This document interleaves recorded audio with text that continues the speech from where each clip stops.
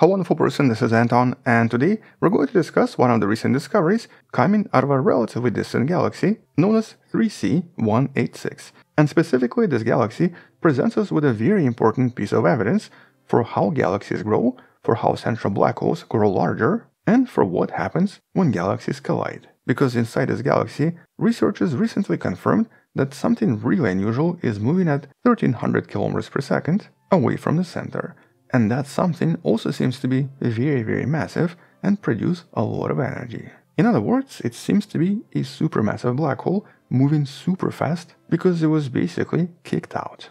And so let's talk about why this is important and discuss the details from the study in the description. But I guess first let's start with some of the mysteries and some unexplained phenomena related to the study, starting with the idea of supermassive black holes. Even today, after years and years of research, it's not actually entirely clear how some black holes become so ridiculously massive. For example, we know that some of the galaxies, such as M87, contain black holes that are billions of solar masses in mass. The one inside M87, the picture of which you just saw behind me, is at least 1500 times more massive than the black hole in the middle of the Milky Way. Moreover, more recently, we've actually discussed a discovery of an extremely massive black hole in a very famous gravitational lens that was at least 35 billion solar masses. And some black holes, like the ones in Perseus A, are even more massive, basically defying all expectations and all explanations. And so for many years, scientists believed that there might be only two possible ways for these black holes become so massive. First one is essentially they were born this way, they were created really massive from the beginning of the universe and only acquired some mass in the process. Although in this case it's kind of difficult to explain how and why. The second explanation is galactic collisions involving black hole collisions in the center with a lot of massive galactic clusters involving so many collisions over time that basically inside one of these galaxies the central black hole just becomes ultra massive. And though maybe this explanation obviously makes a little bit more sense, here there's one important concept that kind of makes everything very difficult. This concept is known as final parsec problem. You can learn more about this in the video in the description, but in essence, based on what we know about black hole collisions and gravitational waves produced by black holes, theory predicts that for very massive black holes, as they come closer and closer together, they actually kind of get stuck in the orbit of approximately 3 to maybe 4 light years away from one another, the distance of approximately 1 parsec. And at this distance, these black holes will continuously orbit each other and probably never come closer because they don't produce enough gravitational waves, which is responsible for the collision of smaller black holes, and they don't have enough mass between them to reduce their orbital speed. Now, this was a very short explanation. The longer one is in the description, but basically because of this, this final parsec problem, researchers were not even sure if supermassive black holes can ever collide. And intriguingly, for many years now, we actually have barely found any signs of potential collisions and have never seen signs of supermassive black hole collisions anywhere or the result of these collisions afterwards. And so this could be the result of this unusual final parsec problem. And so if black holes cannot collide, how exactly do they get so massive? And well, to try to explain any of this, we obviously have to find more evidence and more examples of possibly various galaxies where collisions have occurred or galaxies with active black holes, which can only be the result of previous activity from maybe possible collisions, especially black holes that are maybe not exactly in the center, or even black holes that maybe escape the galaxy. For example, previously, we've discussed our neighbor, the Triangulum galaxy, the galaxy that's literally right next to the Andromeda and will potentially one day collide with it, that we know doesn't seem to contain a central supermassive black hole. And one of the explanations here is that, back in the days, there might have been a collision that basically removed the black hole from the center, because sometimes black holes collide in such a way that they produce what's known as the natal kick, or essentially produce a recoiling black hole that moves really really fast and escapes the galaxy completely. Several such galaxies have been discovered before, but we've never seen an actual black hole escaping.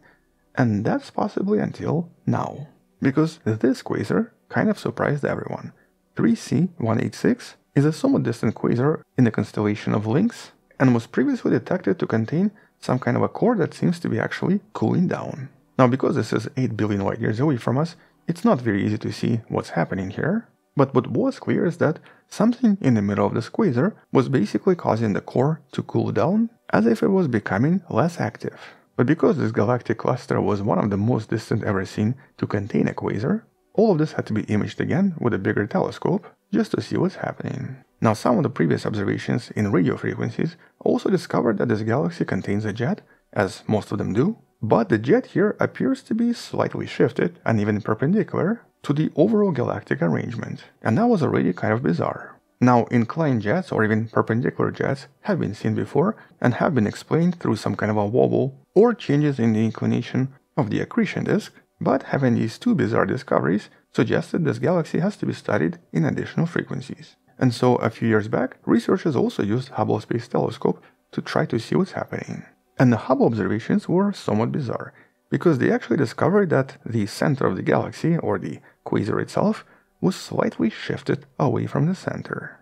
In other words, it appeared to be out of place. And so basically here we had three bizarre observations implying that something strange happened in this galaxy, which of course meant we had to look at this galaxy one more time. And so now, seven years later, scientists used more powerful observations using Very Large Telescope in Chile and Subaru Telescope in Hawaii to see what's going on.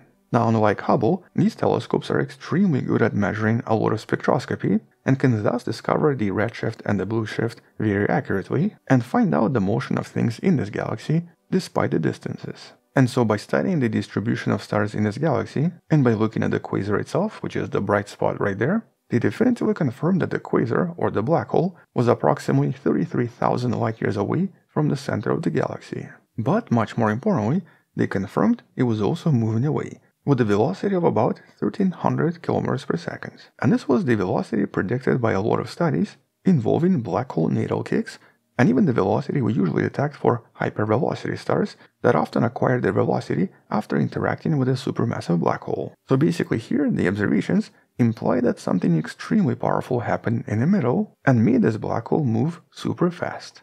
And well, right now only one explanation makes sense. The explanation covered in the study by Marco Chiaberge and his team. This had to be the result of a black hole collision, where two supermassive black holes collided, receiving the natal kick that caused the central black hole to basically escape, which resulted in the production of what seems to be the fastest black hole we've ever seen. Although in this case, we're only seeing the light coming from the accretion disk that's turned this black hole into a quasar. But because this light seems to be blue shifted, and blue shifted quite a lot, the only possible explanation is that this accretion disk and the black hole in the middle seems to be escaping the galaxy. And since the galaxy itself is also showing signs of a previous collision, a galactic collision followed by a black hole collision seems to make the most sense. And this would also explain why the center of the galaxy seems to be cooling down, and also possibly explain why the jet seems to be crooked. All of this seems to be the result of the collision that completely changed the black hole's arrangement, which of course makes this one of the best candidates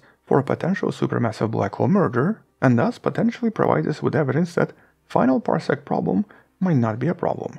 Black holes can indeed collide. With this black hole, when it happened, very likely producing enormous gravitational waves, which caused the black hole to recoil in this way. And assuming this is correct, here researchers even provide us with the overall timeline. And so here everything starts with the black hole merger. The merger itself obviously takes a while, possibly up to about 200 million years, but the main collision event very likely happened 25 million years ago. This is when the final black hole acquired its kick. And though both black holes very likely contained the accretion disk, the new accretion disk possibly started forming in the last few millions of years, and it was only about 100,000 years ago when the black hole finally turned on and the accretion disk created a new quasar. This is based on the observations of the radio jet and the emissions around the black hole, showing us the ionization of gas. And so even though the collision happened millions of years ago, this black hole remained invisible until the last 100,000 years. But it will probably stay pretty bright for a very long time, with the current estimates suggesting that this is going to